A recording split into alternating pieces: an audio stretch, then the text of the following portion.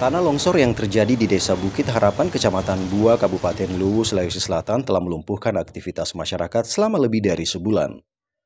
Material longsor menutup seluruh badan jalan utama sehingga akses menuju empat dusun yang dihuni sekitar 200 kepala keluarga dan dua sekolah terganggu, bahkan dua dusun di antaranya lumpuh total. Meski warga sekitar telah membuka jalan alternatif, namun rutenya cukup jauh dan sulit dilalui karena memutari gunung dan kondisi jalannya yang masih bebatuan. Hal ini membuat aktivitas masyarakat semakin terhambat.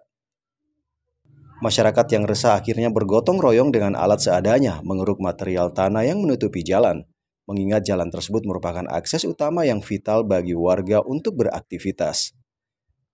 Kepala Desa Bukit Harapan saat dikunjungi wartawan pada Senin pagi 13 Mei 2024 tidak berada di tempat dan enggan memberikan pernyataan saat dihubungi via WhatsApp.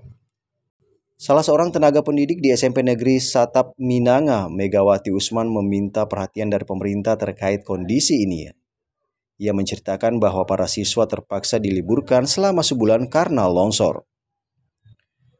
Sebelum jalan utama bisa dilalui, Megawati harus melewati jalan alternatif yang berbatu sejauh 4 km dan berjalan kaki selama 1 km untuk sampai ke sekolah. Meskipun jalan utama saat ini sudah bisa dilalui roda 2, Megawati khawatir akan terjadi longsor susulan jika dilalui dengan kendaraan roda 4 karena bekas longsoran masih memiliki tanah yang labil. Ia berharap agar jalan alternatif ini bisa diperbaiki dan jalan utama yang dilalui setiap hari dapat dipastikan aman dari longsor susulan. Saya, kami ya terutama karena kan kita tim pengajar di sini.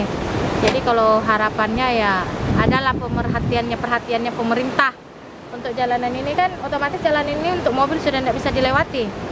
Kemudian yang kedua itu jalan alternatif yang sekarang dibikin di atas itu kalau bisa ada bantuan lah untuk rabat. Karena hari itu juga saya kan kasihan siswa sudah ada sebulan tidak belajar, jadi saya ambil alternatif bagaimana supaya bisa daring saya coba ke sekolah bagikan buku paket. Itu saya parkir motor pas ujung puncak pendakian. Kemudian saya jalan kaki 3 kilo lebih. Sampai ke sekolah itu mutar gunung. Jadi PP nya itu 6 kilo. Hampir 7 kilo pulang. Jadi ya harapannya itu saja. Semoga ini uh, pemerintah adalah tindak lanjut Megawati juga mengungkapkan bahwa menurut mantan kepala desa di gunung terdapat sungai besar yang alirannya sudah tidak ada sehingga terbentuk kawah. Ia menduga bahwa kawah tersebut merupakan salah satu penyebab terjadinya tanah longsor.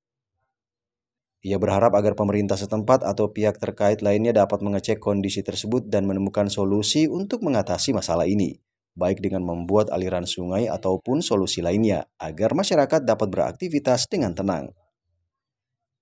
Jurnalis Koran Seruya mengabarkan dari Kabupaten Luwu, Provinsi Sulawesi Selatan.